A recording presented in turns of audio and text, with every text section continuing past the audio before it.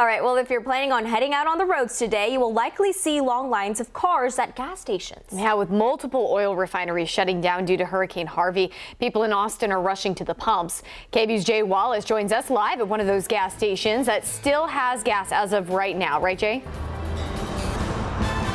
Yeah, that's right. I'm out here on Research Boulevard where you can see behind me there are these cars backed up well past the target, probably about 100 yards past that target as these drivers, they're waiting to get gas at a Costco here in North Austin. Most of the people we talked to earlier this morning say they had waited about 25 to 30 minutes to fill up their car as well.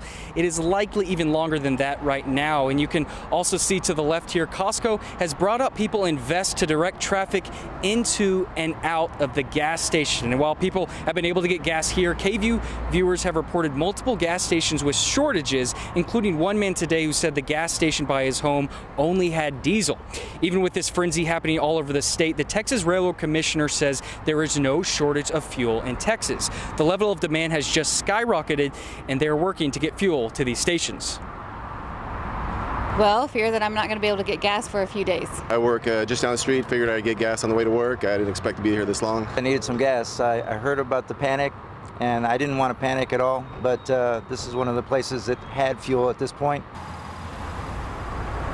So as of right now, none of Texas refineries have suffered major damage. Valero has already begun ramping up at its refineries, and another major refinery in Texas is expected to be back online Sunday. One thing that is worth noting, gas prices rising after hurricanes is typical, but if you do see a gas station that is possibly price gouging, it is important to get in contact with the Attorney General's office and let them know immediately. Live in Austin, Jay Wallace, KVUE News. Yeah, that's certainly an important thing. All right, Jay, thank you. And take a look here at this picture we received from a viewer this morning.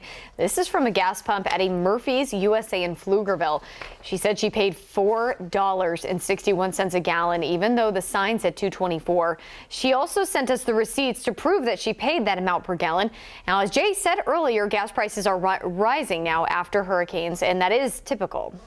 And taking a look at this tweet from Cedar Park Police, they sent this out earlier today. Officials say that anyone blocking a private drive while waiting to get gas will receive a ticket.